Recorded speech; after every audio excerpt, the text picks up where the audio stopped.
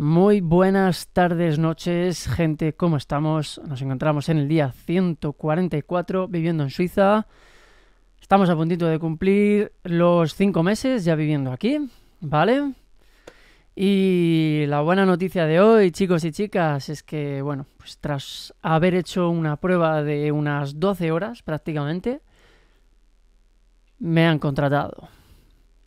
Me han contratado en este trabajo del que os llevo hablando los últimos días, que tenía que hacer una prueba, que era un trabajo importante, buenas eh, condiciones laborales, buenos horarios, dos días libres a la semana, en fin, contrato fijo, indefinido, jornada completa.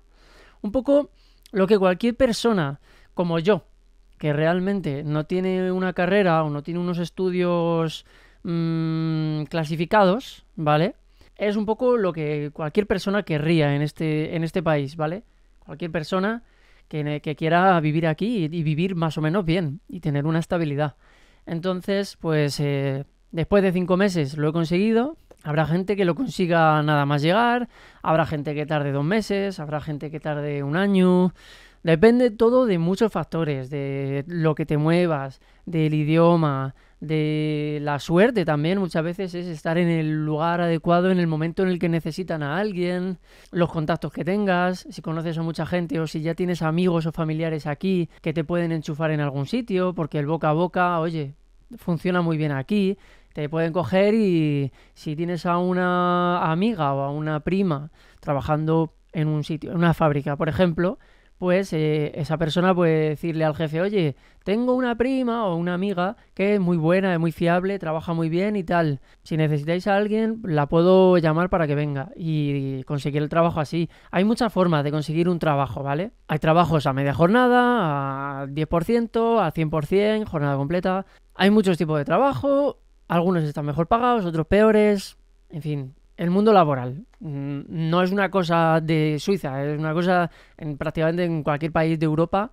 las cosas funcionan así. Entonces, bueno, pues mmm, me ha costado cinco meses y ya estaría. En principio, ya a partir de aquí la cosa tiene que ir a mejor, a bastante mejor. Con este sueldo que voy a, que voy a coger, que voy a ganar, pues eh, imagino que me será más fácil dentro de no mucho pues irme yo solo a una casa de alquiler, a un pisito, a una casita, lo que sea, y estar allí ya tranquilo, poder traer a mis animales en cuanto pueda, ya sea de una manera o de otra, pero por lo menos tendré capacidad, tendré capacidad de acción, de hacer cosas, porque hay muchas cosas que no las hago porque me falta dinero. Entonces, claro, yo ahora mismo estoy viviendo aquí para empezar porque no tengo un montón de dinero. Y si yo ganase mucho más dinero, yo no estaría en esta habitación. A lo mejor estaría grabando en una habitación, pero en una casa en la que vivo yo solo y tengo otras dos habitaciones para los invitados, para mis animales, lo que sea. Pero no estaría aquí. Entonces, bueno, esto es una etapa y en principio ahora, pues dentro de unos pocos días va a empezar la siguiente, que es Jules viviendo en Suiza con trabajo estable. A partir de aquí, pues eh, ya veremos cómo va avanzando la cosa, ya os iré contando. Yo voy a seguir haciendo mi videoblog, que yo ahora mismo haya conseguido un trabajo a jornada completa y con, con un contrato indefinido, no significa que vaya que ya se acabe aquí la aventura, no, porque todavía tienen que pasar cosas, todavía tengo que hacer muchas cosas. Mm, me tengo que intentar mudar de aquí, tengo que traer a mis animales, tengo muchas cosas también en curso, mmm, en fin, que no es, no es solo, vamos, yo sé que hay gente que lo que quiere y lo que busca es eso, tener un trabajo estable y el resto de la semana no hacer nada más que pues eh, estar con su familia, descansar y ya está.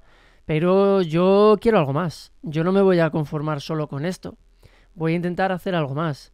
Voy a seguir metiéndole caña a este canal de YouTube o a los podcasts, a mis redes sociales en general. Tengo otras cosas también, tengo otros proyectos en marcha que están ahí. Ya os iré hablando de ellos, aunque ya os he hablado alguna vez de ellos. No sé cuál saldrá adelante primero, pero tengo un par de cosillas también. Luego también está el tema de la música, que ya sabéis que a mí me gusta la música, de vez en cuando escribir alguna canción. De hecho, escribí y canté una canción que, que, bueno, que hicimos un videoclip en YouTube. Tenéis por ahí el videoclip de esa canción que hice y que la interpreté yo mismo.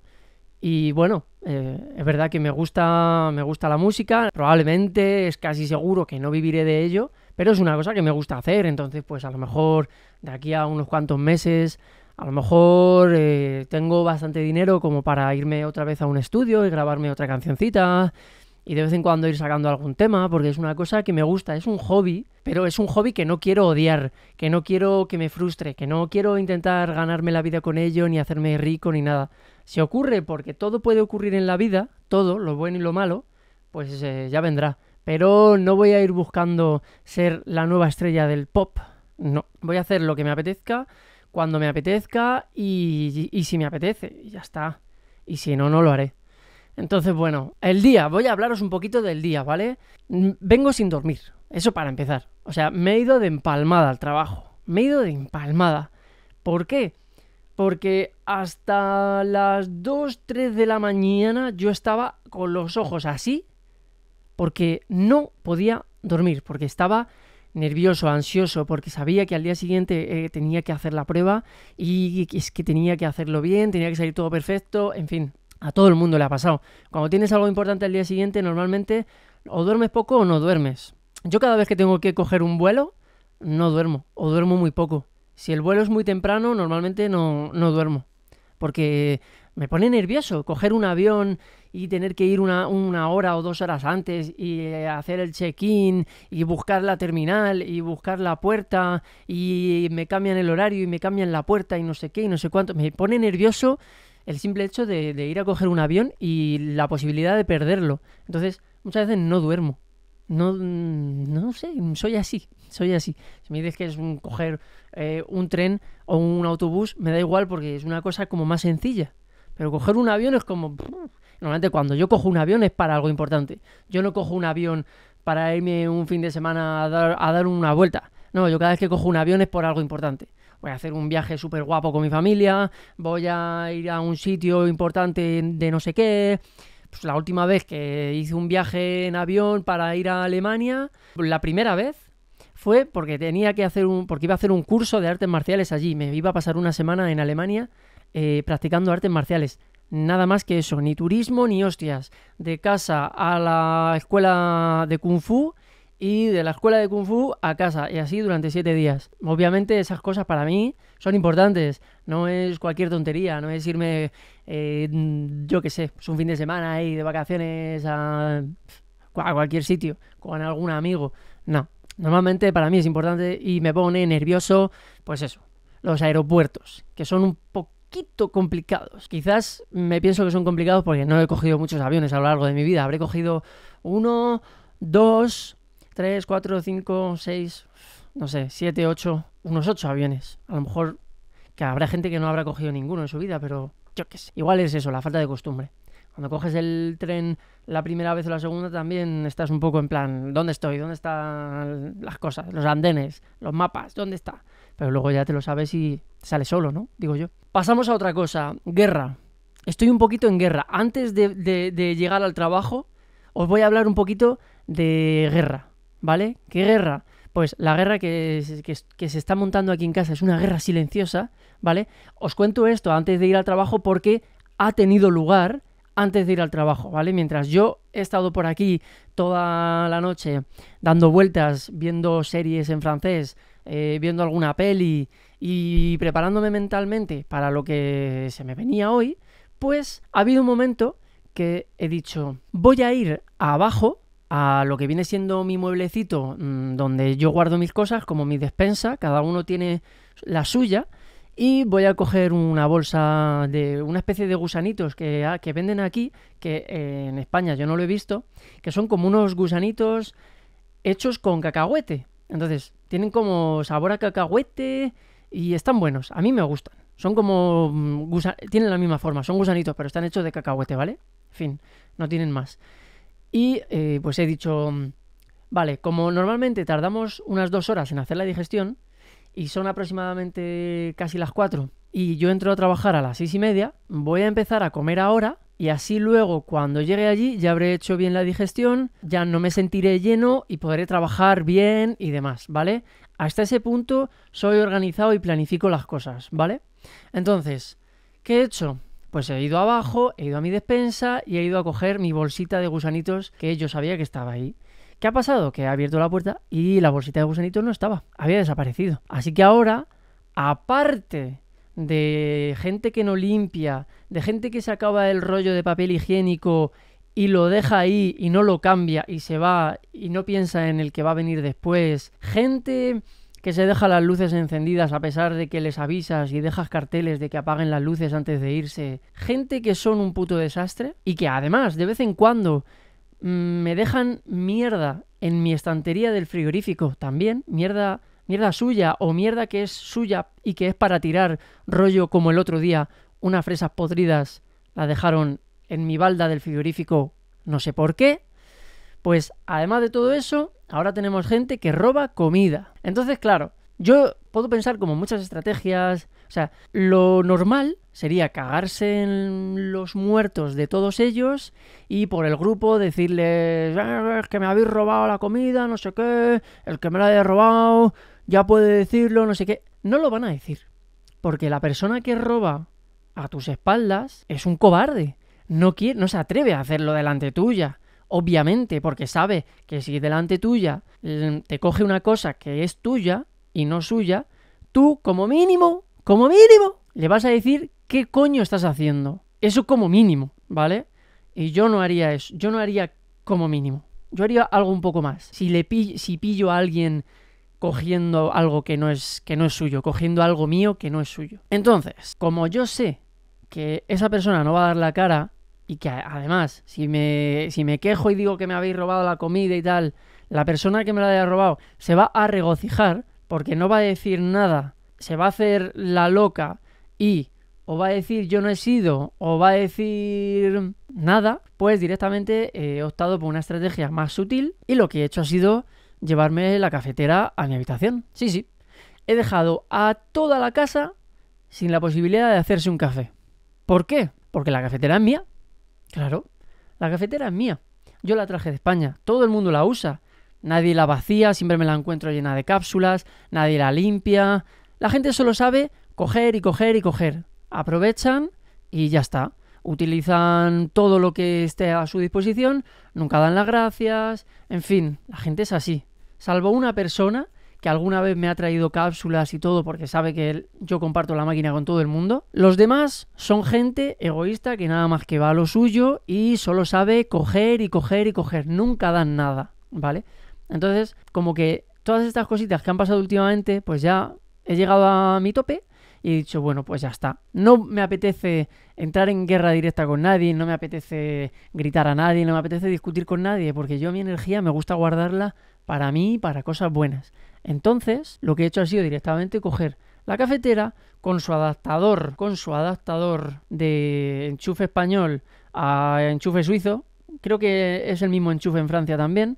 Enchufe español francés a enchufe suizo y me he llevado los dos a la habitación y aquí tengo mi cafetera con mi enchufe y ya está. ¿Que me podía haber llevado solo la cafetera? Porque tengo aquí donde enchufar eh, mi cafetera, sí, pero resulta que lleva unos pocos días mm, alguien, no sé quién, aunque creo saber quién es, cogiéndome el adaptador, el adaptador que lleva ahí como cinco meses desde que llegué prácticamente, y todo el mundo va allí y lo único que hacen es encender la cafetera y ponerlo. Y este tío, este tío, lo que hace es coger el adaptador, desenchufar mi cafetera, quitarle el adaptador, ponérselo a su maquinita y utilizar su maquinita. ¿Y luego qué hace? Nada, lo deja ahí. Y el que quiera hacerse un café la próxima vez que se joda y tenga que coger el adaptador, desenchufarlo, volverlo a poner y conectar la cafetera. No es muy difícil de hacer, pero es un gesto de empatía el que si te estás aprovechando de una cosa que ni siquiera es tuya, el adaptador en este caso, si lo cambias de sitio, sabiendo que ha estado siempre ahí, pues lo suyo es que cuando acabes lo deje donde estaba. Es una regla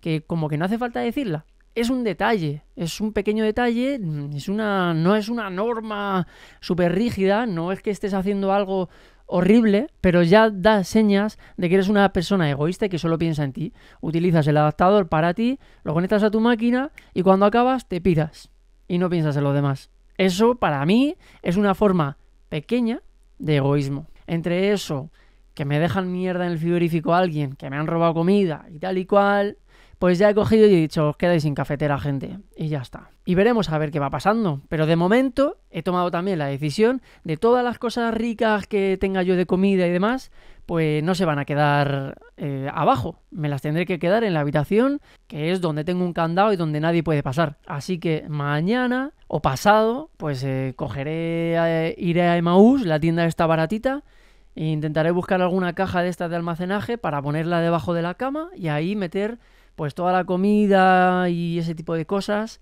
que normalmente pues las podría dejar abajo, pero no ahora no puedo porque en cualquier momento puede venir alguien y robármelo. Así que nada, ese es el plan. Ya está, vamos, vamos a entrar en materia. He llegado al trabajo, al nuevo trabajo. Todavía no era mi trabajo, era un día de prueba, con lo cual He ido para allá con mi pantalón negro que me habían dicho, con mis zapatillas negras. He conocido a unos cuantos compañeros y me han empezado a decir un poco lo que tenía que hacer, sacar la terraza. Después de sacar la terraza, pues eh, había que hacer otras cosas. Pero hacemos una pausa aquí, porque en el momento en el que yo estaba sacando la terraza, me ha ocurrido algo. He sufrido un pequeño accidente. Y resulta que es que eh, cuando estaba con dos mesas, eh, una en cada sitio, pues me he tropezado con una de las patas y como llevaba las dos mesas, cada una en un sitio, como por debajo del sobaco más o menos, no me he podido sujetar con nada. Entonces me he caído, me he caído al suelo, pero, pero vamos, casi, casi a peso muerto, casi como un árbol. Primero he, primero he parado un poco la caída con la rodilla y luego he terminado un poco como de caer más hacia adelante, ¿no? No ha sido a peso muerto, sino habría, me habría escoñado la puta cara, pero como veis estoy bien. Y, pero sí que es verdad que al parar eh, casi toda la caída con el peso de la rodilla, pues me, he rozado. Al principio yo no lo he notado y he dicho, uff, me, he rozado. Me he rozado, me he rozado. Claro, a medida que pasaba el tiempo, digo, uff, me he rozado bastante, ¿eh? Y luego me he mirado el pantalón y es que me he roto el pantalón de la pedazo de rozadura que he tenido con el suelo. Me he hecho un agujero como así, en el pantalón. Y luego en el baño, cuando he ido al baño en un, descanso que he tenido, me he visto la pierna y mm, os lo voy a enseñar, ¿vale? Esto es la herida que me he hecho. Creo que se ve más o menos esas tres cosas es lo que me he hecho. no está mal, ¿no? A ver, vamos a recolocar esto un poquito. Me he hecho pues eh, tres rozaduras bastante grandes, la verdad. Y lo, y lo gracioso es que creo que nadie me ha visto. O alguien me ha visto y se ha pensado que no ha sido para tanto. Mm, pero del trabajo yo diría que nadie me ha visto. O si alguien me ha visto, ya os digo, o se ha hecho loco o no sé. Pero nadie me ha dicho, oye, ¿estás bien? ¿Qué te ha pasado? Nada, porque me ha ocurrido en la terraza y todo el mundo estaba dentro, ¿sabes? Del local. Entonces estaban a sus cosas, preparando sus cosas, no sé qué, tal. Y yo no sé si alguien me habrá visto, yo creo que no. A mí nadie me ha dicho nada. Así que mejor, porque la verdad que me da un poquito de vergüenza que el primer día me, Vamos, si hubiesen visto de verdad la hostia que me he pegado... ¿Qué hostia me he pegado, chaval? Con las dos mesas y todo por los suelos. Madre mía, yo estaba afuera y una, mujer ha gritado, ha dicho, ¡ay, ay, ay! Pero eh, yo me he hecho loco, yo enseguida me he levantado y he seguido trabajando como si nada, ¿sabes? Como si nada. Entonces, bueno, pues eh, ya está, eso ha sido lo extremo que he tenido hoy y ya está. O sea, mm, luego el día ha pasado bien. Lo que pasa es que, claro, ya iba con el agujero en, la pierna, que me da un poquito de palo tener un agujero en el pantalón.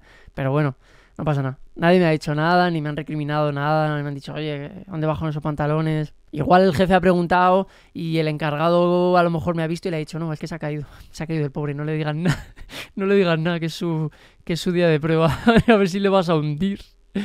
Nada, no pasa ni media, ya os digo que la pena, como siempre, es que no hubiese. que a lo mejor hay, a lo mejor hay alguna cámara del propio local que me ha grabado. Pero claro, si nadie sabe que eso me ha pasado a mí, nadie lo verá nunca.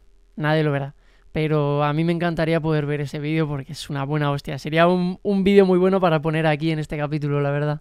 Si algún día consigo la confianza para pedir el vídeo al gerente de ahí o lo que sea, sea, eso sería genial. Sería genial para ponerlo porque menuda hostia me pegué, chaval. En fin, aparte de eso, el día ya, bueno, la mañana era casi de noche, era las seis y media de la mañana. Ya empezó un poquito a, salir el sol, ya puse la terraza y bueno, me empezaron a decir un poquito lo que tenía que hacer, que si cafetera.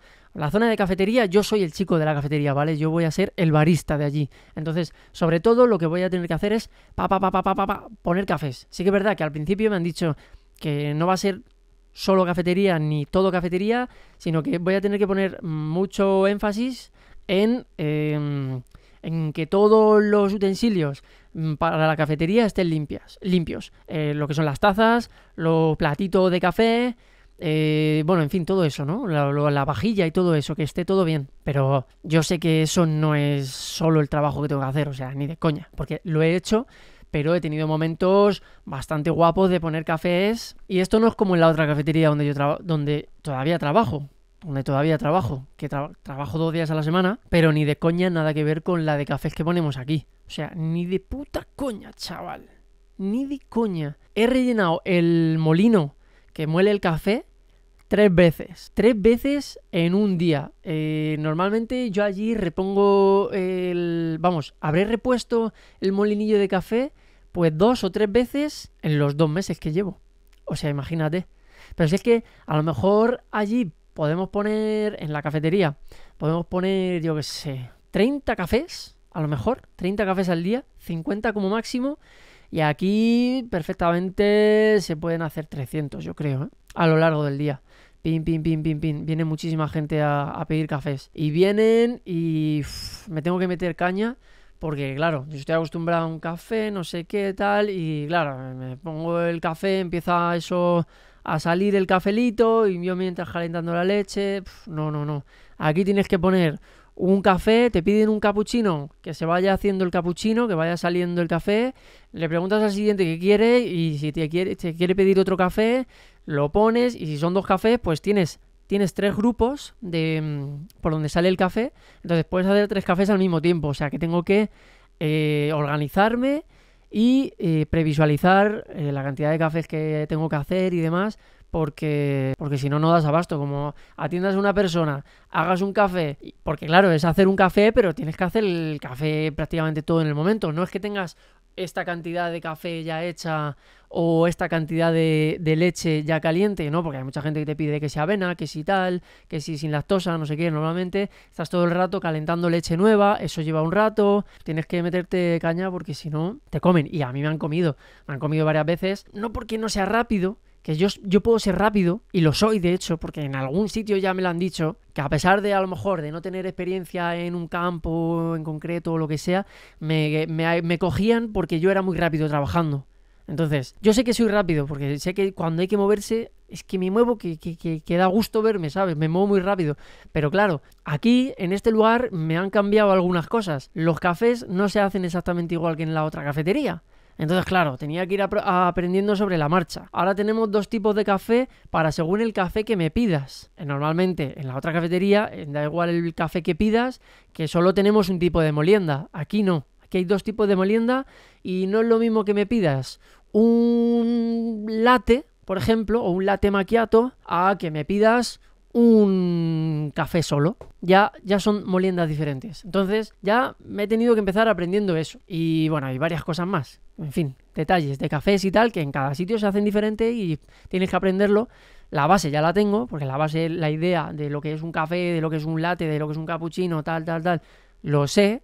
Pero claro, me he vuelto un poco loco porque hacía cosas que, que son errores de una persona que no ha trabajado ahí nunca no errores de una persona que no, que no conoce el oficio de barista, ¿vale? Así que, pues nada, se ha dado bien. Cuando he hecho el primer descanso, pues me han dicho, oye, que bastante bien, tal, no sé qué, sigue así trabajando. Y si al final del día sigues así y tal, pues ya en principio probablemente te contrataremos, porque el lunes vino un chico a hacer una prueba también y tal, pero pero tú nos has gustado más, la verdad, tú se te ve muy majo, muy natural con la gente, tal, no sé qué.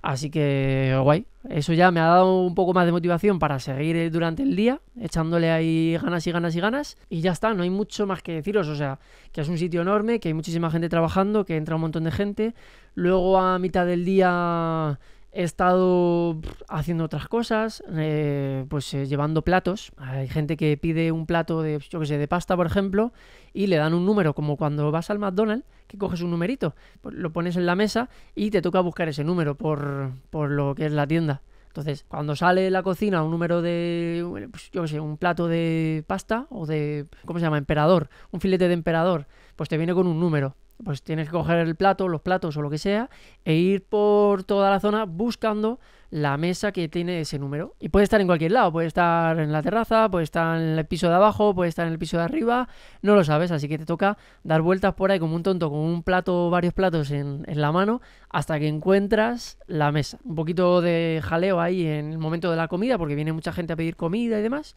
pero, pero bien, se lleva bien, yo creo que se, se puede hacer creo que sí. Aparte de eso, pues nada, luego el resto, mm, el cierre muy rápido, el cierre muy rápido. El cierre se trata de, de limpiar mi zona, la zona donde está la cafetera y el lavavajillas y demás, recoger terraza y meter cuatro cosas adentro del local y ya está, y fin.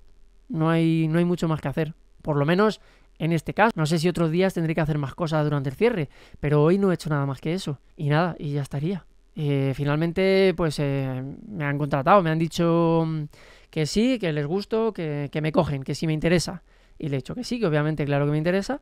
Y ya está, hemos quedado en que mañana le llevo los papeles. Y ya está, estoy matado, porque obviamente mm, no he dormido y me, me he tirado currando desde las seis y media de la mañana hasta las 7, prácticamente hasta las 7. Es verdad que he hecho un descanso de una hora y un descanso de 20 minutos y otro descanso de 20 minutos. He hecho tres descansos. Entonces, bueno, es una hora y 40 minutos que, que me he comido yo para descansar. Que eso también se agradece. Pero que es por ley, ¿eh? Que es por ley que te dicen, no. A las 9 descansito, a las 12 descanso de una hora y luego no sé si a las 3, 3 y media otro descansito de 20 minutos. Así que está bien. Y nada, ya está. Mañana les llevo todos mis papeles, me dan de alta lo antes posible y en principio me han comentado que dentro de unos 10 días o así, o sea, se viene el final de esta semana ya, queda jueves, viernes, sábado y domingo. Y luego la siguiente semana todavía no, pero ya a la siguiente en principio trabajo. En principio a finales de este mes ya empezaría a trabajar con ellos. Así que estoy contento, estoy contento, la verdad. Sé que no mm, se me puede, a lo mejor no se me nota mucho. Estoy contento, estoy contento porque he conseguido pues lo que andaba buscando, ¿no? Un contrato indefinido, un buen salario, buenas condiciones laborales y tal. Pero yo qué sé, supongo que como quiero más, como quiero más, y no es que sea una persona que siempre vaya a querer más y nunca me vaya, ¿cómo se dice? que no sé, no sé, no conozco ni esa palabra, ¿cómo se dice? Eh, cuando te, resignas, ¿no? Cuando aceptas lo que tienes, que no te conformas, eso. No, no, es que no, no es que sea una persona que nunca se conforma con nada. Es que, a ver, acabamos de empezar y creo que en este país, si curras mucho, puedes conseguir grandes cosas. Y ya os dije que yo, mi intención es llegar a 10.000 al mes. Y yo creo que no es imposible ni es una cosa de locas. O sea, de locos. En, España igual ganar 10.000 al mes es un poquito más difícil. Creo que es un poquito más difícil. No digo que sea imposible, habrá gente que lo haga. Pero mm, ganar 10.000 al mes para una persona como yo, que no tiene, que no es arquitecto, que no es abogado, que no es informático, ingeniero, en fin, ese tipo de cosas, ganar 10.000 es una meta difícil, pero creo que se puede llegar ahí, ¿vale? Sin embargo, en España, si no tienes una carrera, si eres barista y alguna cosilla más, es más difícil, creo, llegar a 10.000. Pero claro, es verdad que no es lo mismo. Los precios y demás no es lo mismo, ¿vale? No es lo mismo. Tampoco se puede aplicar. Ganar 10.000 allí a lo mejor es como ganar aquí 15 o 20, más o menos, ¿vale? Entonces, bueno, espero que me entendéis. Que ganar 10.000 estaría de puta madre y es lo que voy a intentar. ¿Cómo? Bueno, tengo muchas ideas, tengo muchas cosas en la cabeza, gente, ganas de trabajar y motivación, así que ya lo veremos. De momento, hemos avanzado, hemos subido un poquito más de nivel Esperemos que todo vaya bien, que siga currando, que les siga gustando como trabajo y a mí también, que me guste todo y que ya por lo menos esté aquí los próximos meses como mínimo. Ya se lo comentaba antes a un colega. Digo meses, pero es probable que a lo mejor sea... A lo mejor podemos estar hablando de años. Ya veremos. ¿vale? Todo dependerá si ellos están contentos conmigo y si yo estoy contento con ellos. En principio, la idea es buena y el salario y las condiciones son buenos. Yo creo que esto va a durar un tiempo, la verdad. No es una cosa de... Ah, una cosa pasajera, ¿no? Un trabajo como este y demás no es una cosa que dejes a la ligera, ¿no? Muy a la ligera. No es fácil conseguir, no es fácil conseguir este tipo de trabajo, yo creo, para una persona que no es de aquí, que no habla el idioma 100% y que lleva en Suiza poquito tiempo. Creo yo, no lo sé. A lo mejor sí, a lo mejor podría conseguir cosas mejores, pero yo creo que está bastante bien. Bueno, gente, Vídeo largo el de hoy porque había muchas cositas que contar. Eh, voy a descansar un montón. Mañana os contaré. El día será más tranquilo, pero alguna cosilla hay que hacer. De momento voy a descansar pues estoy muertísimo, chaval. Pero muertísimo. Bueno, gente, gracias por estar ahí y nada, y nos vemos mañana, ¿vale? Chao, chao.